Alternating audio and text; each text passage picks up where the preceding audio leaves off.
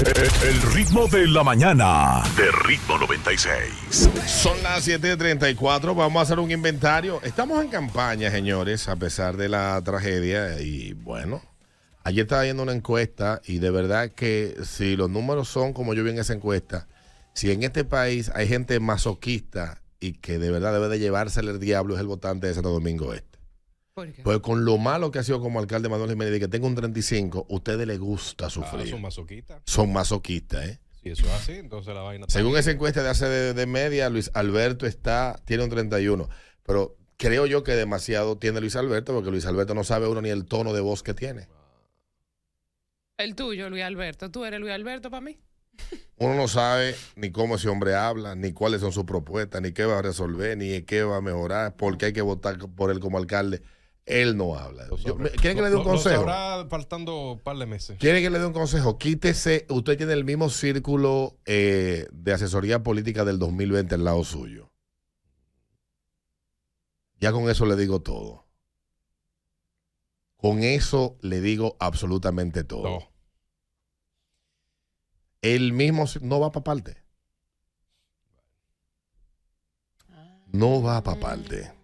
Bueno, vámonos entonces con calles que necesitan Que la que la rapen. Que sí, espérate, Mira. ¿tú sabes Dime. cuál? Eh, que lo repita ahora, me dicen. Agradezco a Roberto Rodríguez este haber depositado, me haber eh, dado los 25 mil pesos de mi anillo de graduación. Gracias, Roberto Rodríguez. Sé que eres una persona como Da- persona. dale las gracias como. Rubén de Lara.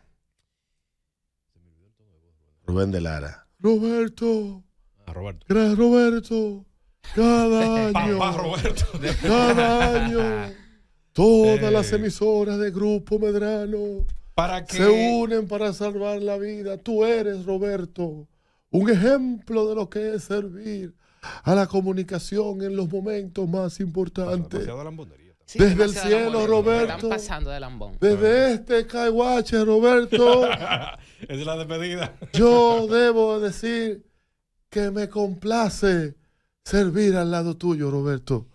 A mí me Muchas gracias y lo vemos el año que viene. A mí me complace también eh, servir al lado tuyo y, y- y- y ser tu, tu, tu alumno. Mm. Este, y Más aventajado. esto- yo, no lo, yo no digo por eso, pero esta gente no me creen a mí aquí. Sí. Mándame recibo Esta gente no. del, del Banco Popular de recibo del depósito para enseñárselo a ellos, Roberto, para que tú veas, le de los 25 mil Bueno, pesos. que tú yo te voy a decir la verdad. Yo conozco a Roberto hace veintipico de años, como 26 años, conociendo a Roberto.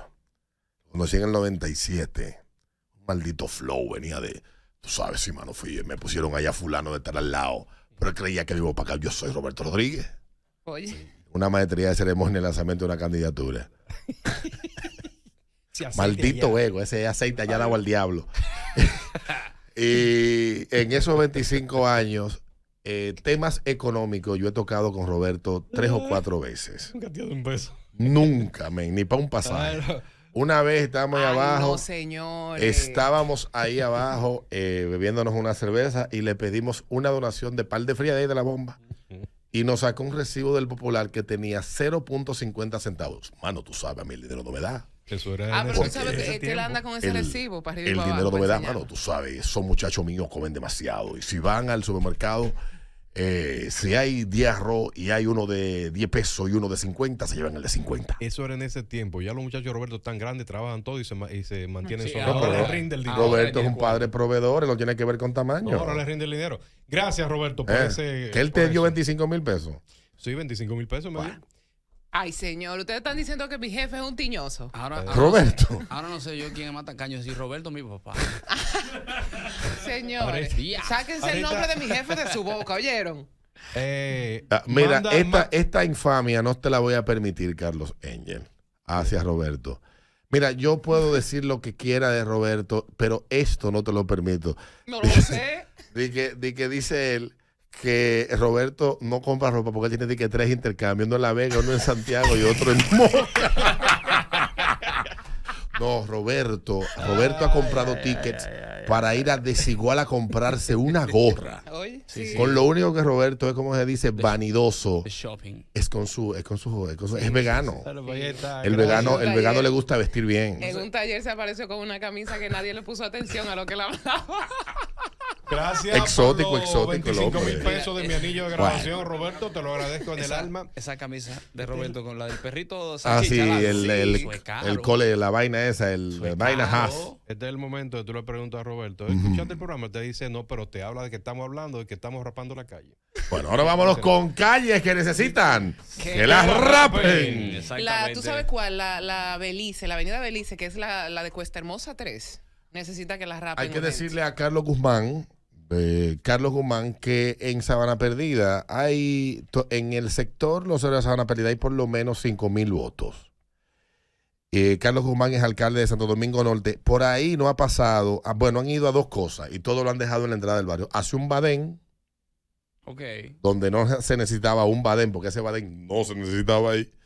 Y hacer dos contenes también en la entrada del barrio. Pero para adentro, oye, el ayuntamiento no entra ni que lo maten. Pero raparon una calle semana perdida porque había mucha calle por rapar. por. Bueno, las calles, gracias a Dios, Dios bendiga a Danilo Medina y al teleférico cuando se, se asfaltó todo en Sabana Tengo Perdida. mucho, no voy Ah, por ahí. bueno, pues ya hace un tiempo, sí. Buenos días. clínica donde nacieron los hijos míos. Buen día, Alberto. Dale. Buen día. Buenos días. La calle que necesitan que rapen se llama Calle La Vecina. Buenos días. Dale. Buenos ¿Cuándo es el Open Mic allá? En- El miércoles. el miércoles. Ve el miércoles al Comedy Club. Mira, el de Santo Domingo Norte, mi abuela vive ahí en Mm. Villamella y mi abuela tiene la calle que hay que rapársela entera porque la calle de mi abuela hasta hierba está creciendo. Qué cuando ya tú sabes que una que está creciendo hierba es porque hay mucho descuido. Ah. Entonces, al, al de Santo Domingo Norte, allá en Villamella, la calle de mi abuela, que se la rapen enterecita, por favor. Mira, tú sabes que el otro día estaba por Almas Rosa, en el exclusivo, ¿cómo que tú en el exclusivo sector de Almas De Rosa. Almas Rosa. Uy. Y de Ay. verdad que la 19, la calle 19 ahí, donde están los chicharrones, entre la carretera de Mendoza y la Costa Rica, yo espero que se recuerden que por ahí vive gente también. Esa calle se ha deteriorado, que rapen la 19. Entiendo que sí, que Mira. bien rapado. Buenos días. Buen día, Ritmo. Hola.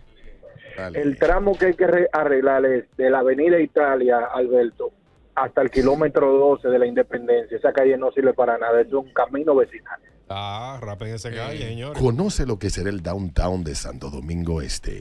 Downtown Santo Domingo Este. Y déjame decirte algo, esto es en la avenida ecológica y, y a los apartamentos arrancan en 89.500 dólares. Ey, la ecológica, la nueva Nacaona. La nueva Nacaona. Señores, por favor. Es verdad. Buenos días. Buenos días a todos. Dale. Hola. Tú sabes qué calle necesita que la rapen, bro, rápidamente. La carretera que comunica el aeropuerto de Santiago con Moca. Es un solo guacal de huevo por ahí y peligroso de noche. Me fui de noche por ahí, óyeme, y se me pusieron los huevos a chele. Ah. Hay que raparla rápidamente. Sí, yo sé cuál es esa calle que tú dices. Yo pasé por ahí como en septiembre, andaba comiéndome una morcilla. Alberto, por favor. Coño. O sea, yo soy débil con una morcilla, imagínate como de rodilla. La morcilla aprieta. Como que está pidiendo perdón. Me, dice, Sí. me dicen por aquí que en Pantoja eh, hay varias calles que hay que rapar. Ay, sí. Que hay una específica que tiene A un Pantoja hay que declararlo provincia. Sí, que hay una calle ¿Por dónde específica que tiene un hoyo muy grande. Hay que Sí. raparla huyendo. Buenos días. Buen día, Alberto, Dale. Eduardo Eh, y demás familiares. Mira, yo no vivo en la zona oriental, pero cualquier calle que necesiten que yo le rape, yo soy agente libre y puedo raparle cualquier calle. Cualquier la calle. pero usted tiene la Allá. maquinaria para, para poder rapar esas calles. Yo tengo la maquinaria, a veces si la maquinaria se, se pone lenta, yo le pongo combustible de ese chino Ah, es bueno. Ok. y resuelve. La calle del aguacate de Cotique es una sola, es un camino vecinal que la rapen. Que me rape la calle. me Pero me yo lo no entiendo. Primero, en el aguacate, todos los habitantes que viven ahí, como ocho, todos, todos son, son PRDistas, son del PRM y no le han puesto atención. En mi casa había un comité de base. Papá tenía un comité de base. del- Bueno, y históricamente, históricamente la provincia de Sánchez Ramírez ha sido eh, muy PRDista. Totalmente. Y, Calle. y, ¿eh? Calle. Sí hay calle para rapar. Buenos días. No hay calle. Irónicamente, a la autopista de San Isidro hay que terminar de raparla Ah, sí, es verdad. Sí. Tienes ¿Verdad? razón. Sí. Ese hoyo está ahí todavía. Sí, sí. Ese yo está ahí, eso está lleno de polvo. Que pasé por ahí el otro día. Yo no sé cómo la gente ahí no se ha muerto de una neumonía. Entre el polvo de Sahara y el polvo de ellos. Ajá. No y se el sabe cuál polvo es africano. Ve acá. Buenos días. Aló. Alberto, mira, y esa que tú no le diste para la derecha de la 19, para acá para la Italia, esa lado por ahí. Ujú. Mira, en, ese lado, de, mira, de la San Vicente para la izquierda, no se está rapando. Hay que empezar a rapar. Es todo un hoyo. Sí, ¿verdad? El trayecto del aeropuerto, la autopista de las Américas. Bueno. del aeropuerto, hay unos hoyos Buenos sí. días. Hola. Los rapadores. De la mañana. Ah, no. Mira, hay un tram- un pequeño tramo que tengo, desde que yo soy chiquito, chiquitico, lo vivo viendo, ese martito yo no lo arreglan. Eh, ahí antes del 9, que hay como unos pilotillos y una cosita. Ese chin del 9, mierda, coño. Sí. Me dice por aquí mi amigo Frank que la 16 no le hace falta que la rapen, sino que de 18, de la 18 en adelante es que hay que rapar. Parece que ahí en la 16 la, la arreglaron hace un tiempo, Sí. pero ahora de la, 10 la 18 ha, ha estado olvidada. Buenos días. Buenos días, hermano. Dale. Alberto, en la ecológica hay dos hoyitos. No, no, que no es que hay que raparlo. Es tapar esos hoyitos que eran de la barandilla que quitaron. Y cuando uno un carro va en alta velocidad, que cae en un hoyo de eso, tú supiste que va a parar los matorrales. Ah, pero manejen bien. Debo decirle a los habitantes de la ecológica. eh, esa autopista se construyó saliendo Danilo Medina del poder en el 2020. Ya no se ponen cruces como antes, donde la gente se mataba. Porque si pusieran cruces, no necesitará barandilla. El, pues se ha matado pile de gente ahí. Ahora, ¿qué pasa con la ecológica? Que tenemos los conductores más HDP del mundo. Primero comenzaron yéndose en vía contraria para entrar a los residenciales que ahí viven. Sí, sí, sí, sí. Oh. Eh, después abrieron eh, cruces donde no debían. Ujú. Se llevaron la barandilla, etcétera. Ahora le están haciendo un muro. Ayer vi un camión que tomó desde un retorno, manejó más de dos kilómetros eh, por la isleta central de, de la ecológica para no dar la vuelta en, en, en el retorno que le corresponde. problema. Bueno, le están haciendo un muro ahora de con- un, un muro de concreto. Era ponerle bomba o misiles. Ah, lo que hay, lo que hay que hacer lo que estaban haciendo en, en San Isidro. Que se quejaron la gente y ahora van a hacer un lío. Me dicen que las señoras que trabajan ahí en la ecológica, que venden batata, que tienen un batatón, eh, di que la dan a buen precio esa batata. Buenos días. ahí, Una señora pobre. Buen día. la. Dale.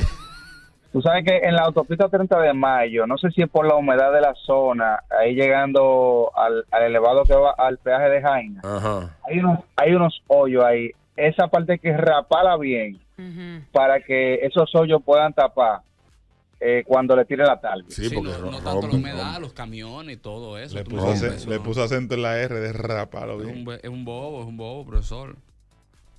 Ahí sí, te- ahí sí. Buenos días. Buenos días. ¿Qué hay? Dale.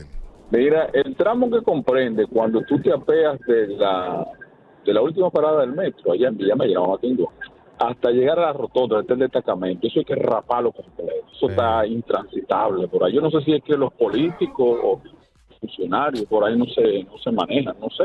No sé si andan en helicóptero por ahí. Betty Jerónimo va a arreglar eso. Ya va a ser alcaldesa ahora de ahí de esa En el zona. 2028 posiblemente. Pero que Carlos Guzmán se recuerde que eh, Santo Domingo Norte nada más no es la tres calles de Villamella Exacto. y de Guaricano, que también ahí está, hay, hay un lugar llamado Sabana Perdida. Que le corresponde a él. ¿Es guaricano Claro. o guaricanos? Ah, Guaricano, Guarícano, los Guaricanos, qué sé yo. usted quiera, que con estos calores no podemos estar peleando por Buenos días. Buenos días. Dale, buenos días. Increíblemente, eh, la carretera Mella es una que hay que raparla completa, iniciando allá en Sabana Larga y llegando allá a San Isidro, allá, porque lo tapan con hoyito y esa calle está toda mala.